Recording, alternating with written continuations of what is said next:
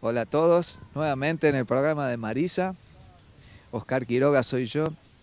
Estamos hoy hablando un poquito de lo que es eh, el canotaje de travesía. Para todas aquellas personas que se ven, hoy ustedes están viendo algo que es muy atractivo.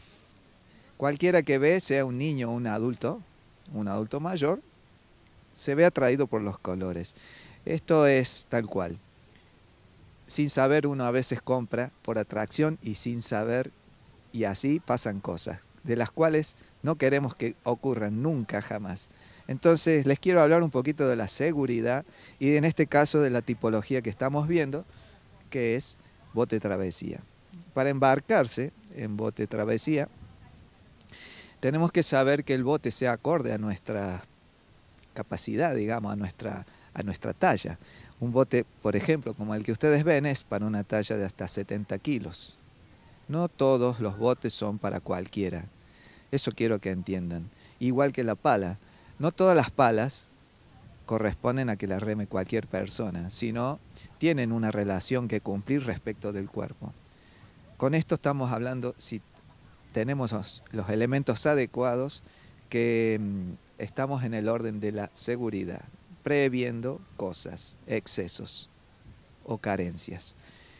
Entonces, volviendo al tema de la pala, la pala, cada palista, cada, cada travesista, cada persona que integra una travesía, necesariamente tiene que tener una pala. Es parte de la seguridad, como también llevar una de repuesto, que puede ser con la pértiga partida a la mitad y llevada dentro del bote. Lo que vemos acá es una bomba de achique. Es un elemento para sacar agua del bote en caso de zozobra. Estar conectados a través de su teléfono y en este caso ven que tiene una funda, que es una funda estanca, que lo retiene, digamos, que lo cubre del agua, de las mojaduras. Un cabo, o sea, una soga de 7 metros, que es un poquito más largo que el bote. El bote tiene 5.10, 5.20, en este caso hay 4.50. ¿eh?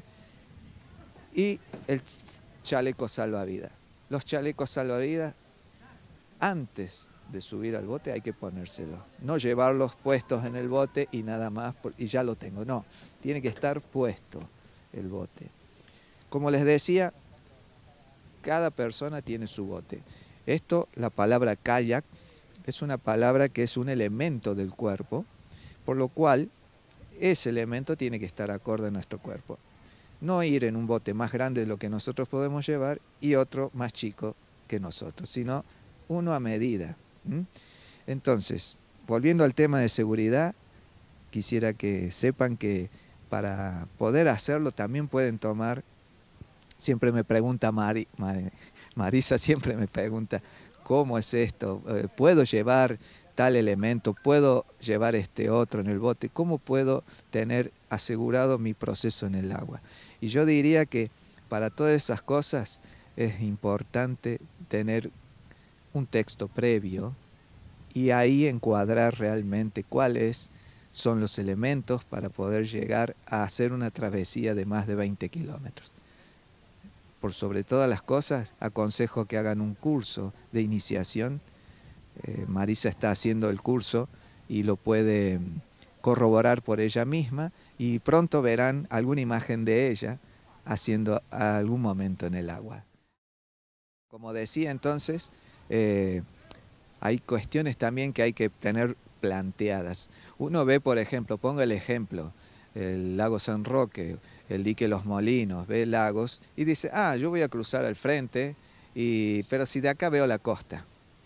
Y ojo, esa visual que uno tiene eh, es muy engañosa. Entonces no hay que faltarle el respeto a los lagos. ¿eh?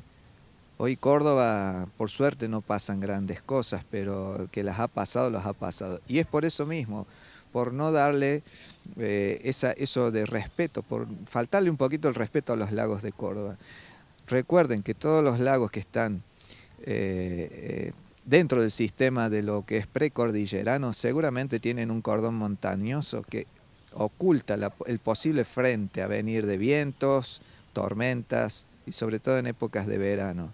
Así que, ojo, y por eso mismo digo que aunque esté calmo, llevar todos los medios de precaución, toda la prevención, padre hidratarse, todo lo que es el cabo de seguridad, como yo digo, la, pala de repuesto. Ojo, porque en verano, y si llegara a zozobrar, eh, la bomba de achique o el balde de achique. Nunca dejen lo que es seguridad, porque si yo lo comparo, diría, y es andar en auto y no ponerse el cinturón de seguridad, como para darles un ejemplo de lo que puede llegar a pasar. El imprevisto es para todos igual, y en el caso del agua, con más razón todavía. Así que bueno, quería dejarles este detalle y para el próximo programa le tengo algo muy interesante para llevar a cabo eh, y creo que les va a interesar a modo de que van a hacer muchas preguntas seguramente. Muchas gracias.